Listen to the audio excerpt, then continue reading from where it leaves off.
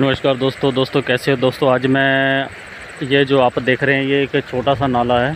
तो आप देख सकते हैं कि इस नाले में आज पूरी रात बारिश हुई है। और इतनी भारी बारिश हुई है हिमाचल में कि आप देख सकते हैं कि नाला इतना ऐसे लग रहा है कि नदी जा रही है। देख सकते हैं। और नाला जो है, उफान में है। और ये जो है, नाला अभी ऊना डिस्ट्रिक्ट में पड़ता है, ये भद्रकाली के पास। साथ में माता रानी का मंदिर है यहाँ पर, माता भद्रकाली तो दोस्तों, ऊपर ऊँचे पहाड़ों में ऊपर बारिश हो रही है और जिसका कारण यहाँ भी बहुत भारी बारिश हुई है।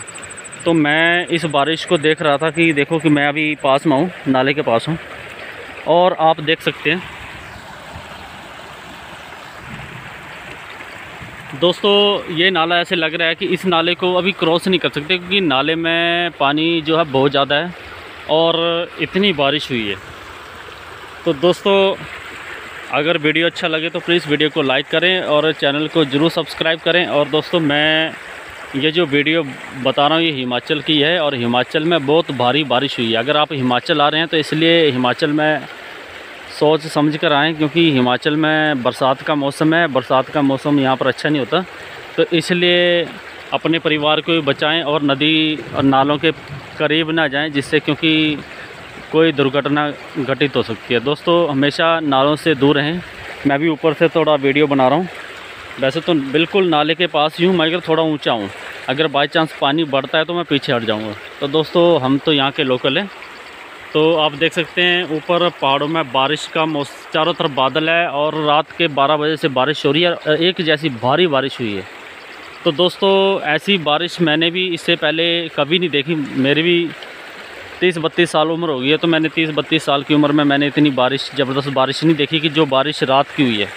और ये नाले जो हैं, ये दूसरी बारिश है और नाले जो हैं, नदी नाले बिल्कुल उफान पर हैं। तो दोस्तों, ये देख सकते हैं, अब इस नाले को आप क्रॉस नहीं कर सकते क्योंकि इस नाले की चौड़ाई जो है नदी के बराबर की है।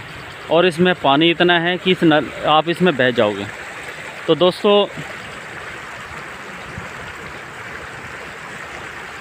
और इस नाले की कम से कम मेरे ख्याल से 400 मीटर 300 400 मीटर तो चौड़ाई है। और ऊपर पहाड़ों में बहुत बारिश हो रही है, जिसके कारण ये मैदानी इलाका है।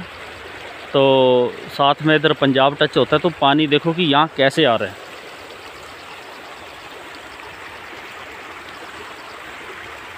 और दोस्तों जैसे जैसे बारिश, जिस हिसाब से बारिश चल रही है और अभी भी थोड़ी थोड़ी बारिश हो रही है और मुझे नहीं लगता कि अब ये दो तीन दिन में बारिश बंद होगी। और जिस हिसाब से ये नाले इतने सालों में ये नाले पंद्रह सालों के बाद उफान में आए हैं।